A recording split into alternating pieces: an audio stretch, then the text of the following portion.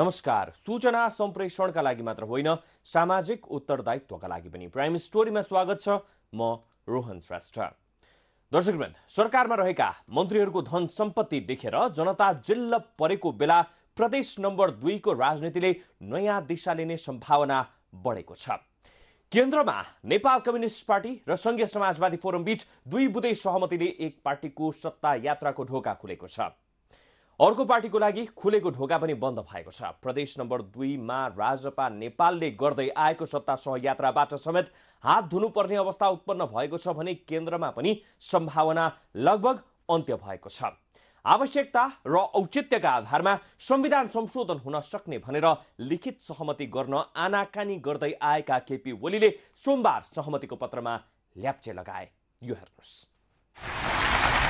संविधान संशोधनका लागि लिखित सहमति गर्नबाट पन्छिँदै आएका प्रधानमन्त्री केपी शर्मा ओलीले सोमबार संघीय समाजवादीसँग लिखित नै सहमति गरेका छन्।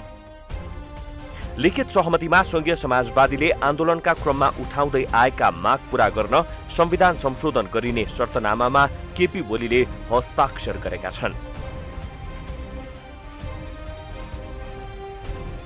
दुई पार्टी बीच भएको सहमतिको पहिलो बुदामा लेखिएको छ। संघीय समाजवादी फोरम नेपालले आन्दोलनका क्रममा उठाएका माग र मुद्दाहरूका सम्बन्धमा संविधान संशोधनसँग सम्बन्धित विषयहरू देश र जनताको पक्षमा आपसी सहमतिका आधारमा संविधान संशोधन गरी सम्बोधन गरिनेछ। सरकारद्वारा गर्न सकिने कामहरू सरकारको नीति र कार्यक्रममा समावेश गरिनेछ। उपरोक्त कार्यहरू आन्तरिक गृह कार्य गरी सहमतिमा समाधान गरिनेछ।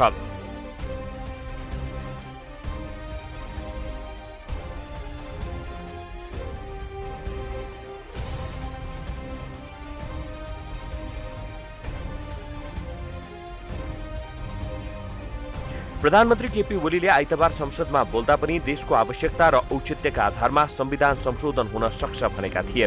तर सहमति पत्रमा आवश्यकता र औचित्य भन्ने शब्द राखिएको छैन।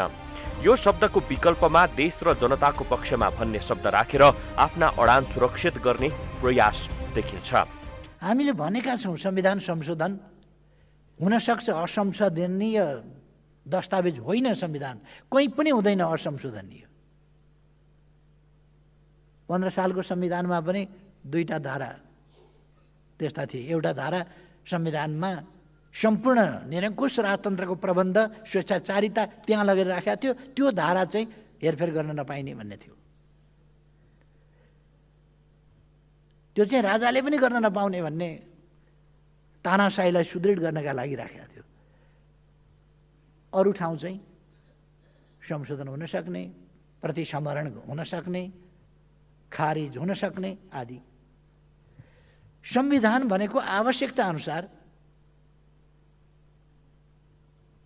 त्यति बेलाको समयले माग गरे अनुसार देश र जनताले माग गरे अनुसार अथवा त्यति बेलाको शक्तिले निर्धारण गरे अनुसार। संविधान निर्माण हुन्छ संशोधन हुन्छ।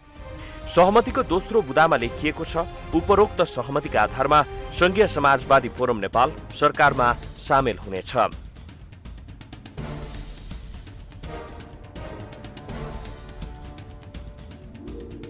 सहमति पत्रमा नेकपाका अध्यक्षद्वय पुष्पकमल दाहाल प्रचण्ड केपी शर्मा ओली र संघीय समाजवादीका अध्यक्ष उपेन्द्र यादवले हस्ताक्षर गरेका छन्। यो हस्ताक्षरसँगै सत्तापक्षीय दल संघीय समाजवादी पनि सरकारमा जाने स्पष्ट भएको छ। फागुन तिनमा केपी ओलीको सरकार गठन हुँदै गर्दा ओलीलाई संघीय समाजवादीले पनि समर्थन दिएको थियो।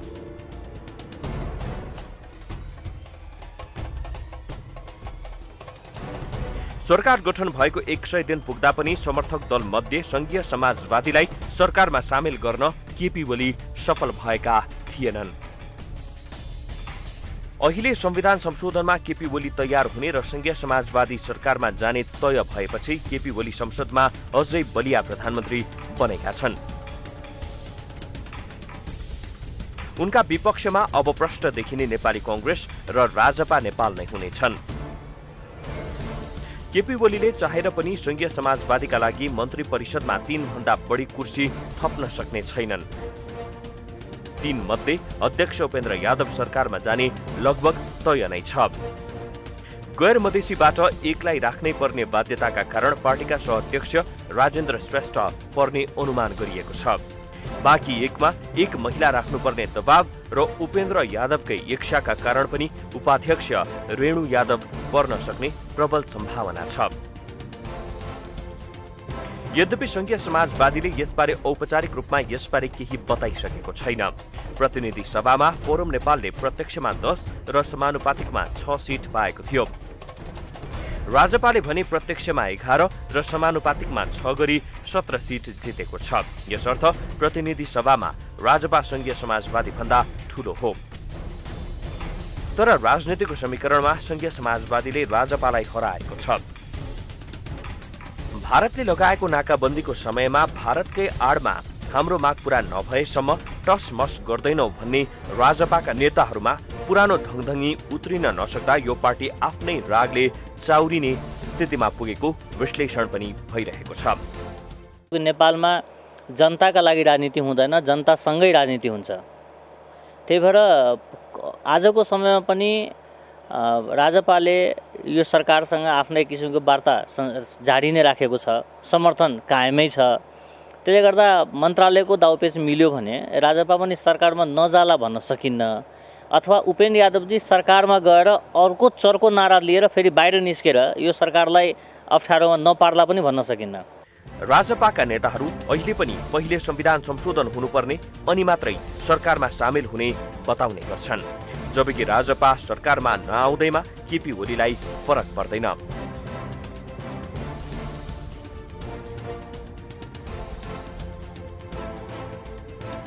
राजपाको मतकै कारण नयाँ सरकार बनाउन कठिन हुने अवस्थामा मात्रै यस्तो घुर्कीको छुट राजपालाई हुन्थ्यो।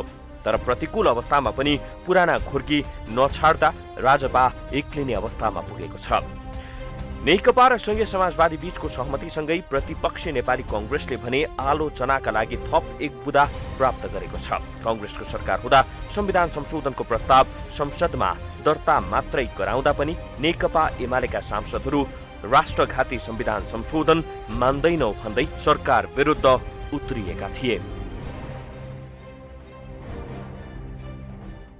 संविधान संशोधनका लागि आनाकानी गरिरहेका केपी शर्मा ओलीले संविधान संशोधन गर्ने पत्रमा हस्ताक्षर गरेपछि प्रतिपक्षी नेपाली कङ्ग्रेसलाई अलिकति सजिलो भएको छ। आफू सरकारमा नहुँदा राष्ट्रघात देख्ने सरकारमा गएपछि त्यही संविधान संशोधनको पक्षमा कुरा गर्ने भन्दै कङ्ग्रेसले आलोचना सुरु गरि नै सकेको छ। अब मूल प्रश्न यो हो कि संविधान संशोधन हुने लगभग तय नै छ तर संशोधन हुन्छ चाहिँ कस्तो? यो चासोको विषय हो।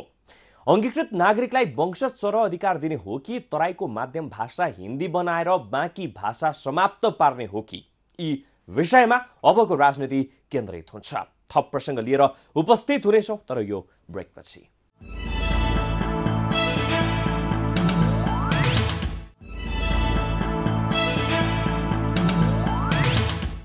ब्रेकपछि पुनः स्वागत छ। तपाईँ प्राइम स्टोरीमा हुनुहुन्छ। र आज हामी एकाएक नेपाली राजनीतिमा भएको परिवर्तन र यसबाट पर्ने प्रभावमा केन्द्रित छौँ। केन्द्रमा दुई पार्टी बीच सहमति हुँदा प्रदेश दुईमा राजपाका लागि पहिरो गएको छ। केन्द्र सरकारबाट त्यति नरुचाइएका भनिएका प्रदेश दुईका मुख्यमन्त्री लालबाबु राउतले पनि राहतको श्वास लिएको अनुमान गर्न गाह्रो छैन। यद्यपि उनको पद रहिरहनेमा केहीले अझै शङ्का गरेका छन्। लालबाबुमाथि अध्यक्ष उपेन्द्र यादवको दृष्टि जस्तो हुन्छ। उनको सत्ता यात्राको टुङ्गो पनि सोही बमोजिम हुनेछ। केन्द्रमा भएको सहमतिले प्रदेश दुईको समीकरणमा बदलाव आउने चाहिँ लगभग तय भएको छ। यो हेर्नुहोस्।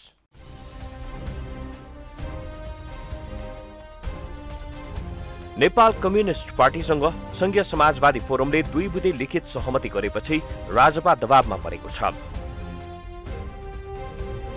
दुई पार्टीबीच केन्द्रमा भएको यस्तो सहमतिको पहिलो नतिजा हुनेछ। प्रदेश नम्बर दुईमा राष्ट्रिय जनता पार्टी नेपालको बहिर्गमन। प्रदेश नम्बर दुईमा अहिले राजपा र सङ्घीय समाजवादी फोरमले सरकार सञ्चालन गरिरहेका छन्। प्रदेशको मुख्यमन्त्री लाल बाबु राउत छन्। केन्द्रमा दुई पार्टीबीच सहमति भएपछि हालको सरकार ढल्ने र नयाँ सरकार बन्दा मुख्यमन्त्री को हुने भन्ने चर्चा पनि छ।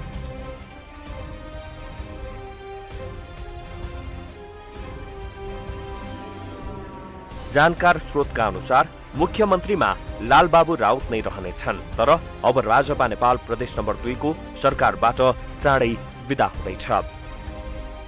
राजपाको स्थानमा नेपाल कम्युनिस्ट पार्टी सरकारमा प्रवेश गर्नेछ। प्रदेश दुईमा राजपाका पच्चिस सांसद छन् भने संघीय समाजवादी फोरमका उनातिस सांसद छन्। एक सय सात सदस्यीय प्रदेश संसदमा सामान्य बहुमतका लागि चौवन्न सांसद भए पुग्छ नेकपा एमाले र नेकपा माओवादी केन्द्रको एकतापछि नेकपासँग अहिले सांसद संख्या बत्तीस छ।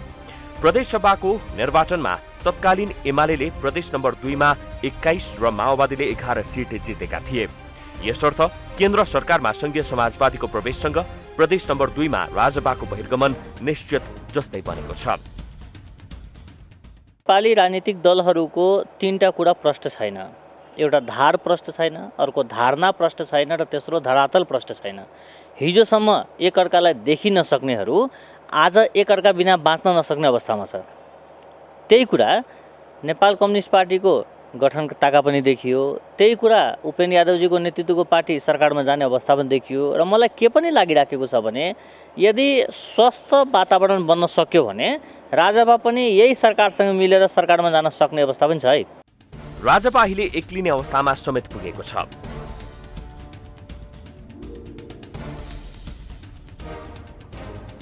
संघीय समाजवादीको सत्ता यात्रासँगै केन्द्रमा पनि राजपाका लागि ढोका बन्द हुनेछ। नयाँ संविधानले केन्द्रमा पच्चिस जना भन्दा बढी मन्त्री बनाउन दिँदैन। अहिले बाइस मन्त्री छन्।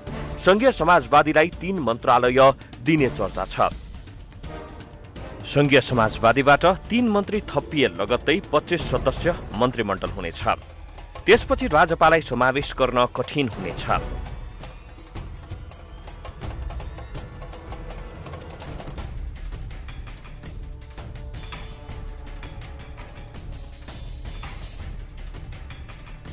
संघीय समाजवादीसँग केपी ओली सरकारले सहयात्रा गर्ने विषय यसअघि पनि जोडतोडका साथ आएको थियो।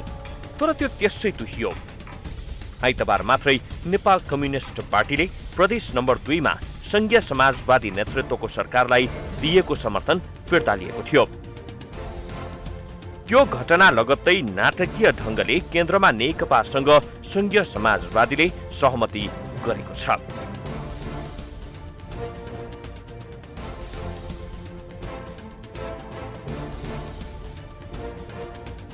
प्रदेश दुईमा नेकपाले समर्थन लिँदैमा लाल बाबु राउतको सरकारलाई फरक पर्दैन थियो किनभने राजपाको पच्चिस सांसदको समर्थन उनलाई प्राप्त थियो। जसले बहुमत हल्लिने सम्भावना थिएन तर नेकपाले राजपासँग मिलेर संघीय समाजवादीको सरकार कुनै पनि बेला ढाल्न सक्थ्यो। त्यो दुर्घटना हुनु अघि नै संघीय समाजवादीका अध्यक्ष उपेन्द्र यादवले नेकपासँग सहमति गरेर केन्द्र र प्रदेशमा आफ्नो शासन सुनिश्चित गरे। उहाँकै पार्टी सरकारमा रहेका कारणले उहाँलाई नै हटाउला जस्तो मलाई तत्काल लाग्दैन। होइन उहाँले आफ्नो नैतिकताको आधारमा हिजोसम्म यही प्रधानमन्त्रीलाई गाली गर्नुभयो यही यही राज सरकारलाई चाहिँ औँला तर्साउनु भयो आज त्यही भित्र त्यही छाता भुँदी आउनु पर्दाखेरि उहाँलाई कहीँ कतै एउटा मानवीय पीडा हुनसक्छ त्यस्तो खालको स्वैच्छिक रूपमा निस्किनु भयो भने म भन्न सक्दिनँ। तर यो सरकारले उपेन्द्र यादवजीले लालबाबुजीलाई हटाउला जस्तो सङ्केत देखिएको छैन। केही घण्टाको दौडधुपमा पछि पर्दा राजपा नेपाल एक्लिएको छ। राजपाका छ छ जनाको अध्यक्ष मण्डलको डप्पाले राजनीतिको मियो समाउन सकेन। जसका कारण राजपालाई पछारेर संघीय समाजवादी अगाडि बढेको छ। संघीय समाजवादीका लागि केन्द्र र प्रदेश दुवैतिर राज नै राज स्थापित हुने भएको छ। एउटा मधेस केन्द्रीय दल सत्तामा र अर्को मधेस केन्द्रीय दल प्रतिपक्षमा भइदिएको भए विकास राज्यको लगानी र त्यसमाथिको निगरानीमाथि सन्तुलन हुन्थ्यो। तर दुवै दल मिलेर सरकारमा गइसकेपछि सबल प्रतिपक्ष देखिएन त्यहाँ। जसले गर्दा प्रदेश नम्बर दुईमा विभिन्न खालका अवरोधहरू देखियो। अहिलेको समयमा जसरी अस्ति भर्खर एमाले प्रदेश नम्बर दुईबाट आफ्नो समर्थन फिर्ता लिए र केन्द्रमा ससफोले उपेन्द्र यादवजीले आजै हस्ताक्षर गरेर दुई बुधे सहमति गरेर सरकारमा जाने बाटो खुल्ला गर्नुभयो। यसले के देखिन्छ भने तत्कालै ससफ हो चाहिँ केन्द्रमा सत्ता साझेदार बन्ने। त्यसको अलि दिन पछाडि प्रदेश नम्बर दुईमा ससफो र नेपाल कम्युनिस्ट पार्टी मिलेर फेरि अर्को सरकार निर्माण गर्ने। अर्थात् राजपा चाहिँ सत्ता बाहिर बसेर एउटा प्रतिपक्षको भूमिकामा खेल्ने अवस्थाको निर्माण हुने देखिन्छ। प्रदेश दुईमा नेकपाको समर्थन फिर्तालाई राजपाले सङ्घीय समाजवादी मडारिएको कालो बादलका रूपमा बुझे तर त्यो राजपाकै लागि अशुभ सङ्केत थियो। राजपाले नेकपासँग मिलेर आफ्नै नेतृत्वमा प्रदेश दुईमा सरकार बनाउने सोचिरहेको बेला प्रदेशको शासनबाट हात धुनुपर्ने अवस्था आएको छ। सङ्घीय समाजवादीले भने उम्किनै लागेको प्रदेश नम्बर दुईलाई आफ्नो पक्षमा मात्रै पारेन केन्द्रमा पनि आफ्नो स्थान सुरक्षित गरेको छ। नेपालीमा एउटा उखान छ। बिराला धेरै भयो भने मुसा मार्दैनन्। सरकारलाई समर्थन गरेको तर आफ्नो संसदीय दलको नेता समेत छान्न नसकेको राजपा नेपालको हकमा मुसा बिरालोको उखान चरितार्थ भएको छ। अध्यक्ष नै छजना छन् एउटा निर्णय लिनु पर्यो भने सात दिन लाग्छ। तत्काल निर्णय गर्न सक्ने क्षमतामा रास आउँदा यसपटकको दौडमा राजपाका नेताहरू चिप्लिएका छन्।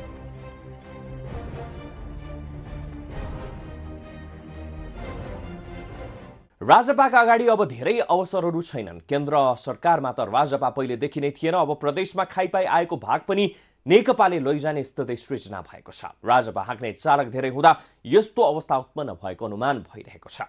सानो पार्टी अध्यक्ष मण्डलकै डफा बनाउँदा पनि राजपाले लाभ लिन सक्ने अवस्था रहेन। अझ रोचक त के छ भने राजपाको यो अध्यक्ष मण्डललाई चुनौती दिने अन्य कोही यो पार्टीमा छँदा पनि छैनन्।